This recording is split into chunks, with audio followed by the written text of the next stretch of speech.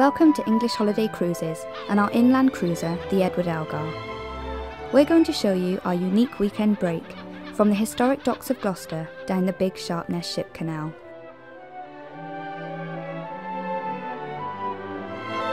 We're just leaving Gloucester, which was once England's biggest inland port, crowded with tall ships carrying grain and other imports.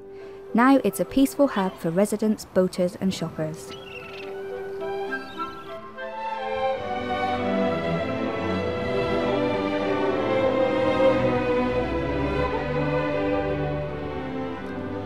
The passenger cabins on board all have twin beds, air conditioning, and an ensuite power shower room with a toilet and basin.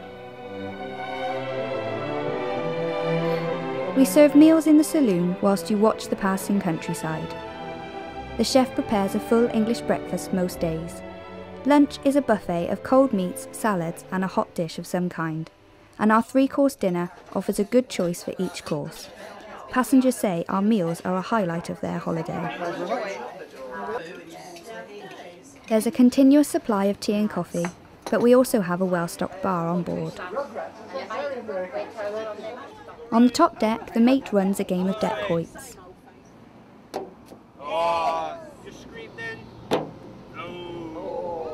But the most magical part of this cruise is to sit on the top deck and relax as the beautiful English countryside slips by.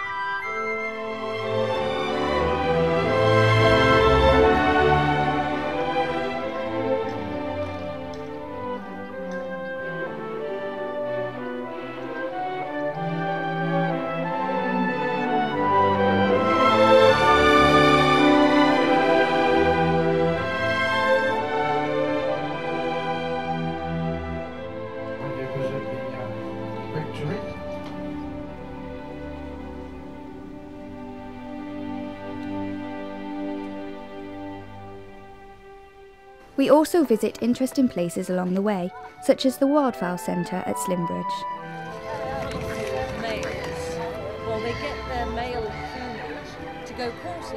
On Saturday evening, it's the captain's cocktail party and dinner. It has got wine in it, wine. Yeah.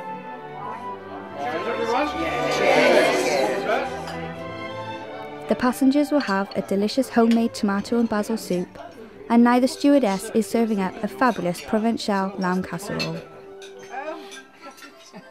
After that, there's a tasty cheesecake and coffee. Then there is some amusing live entertainment. What's that flying up there?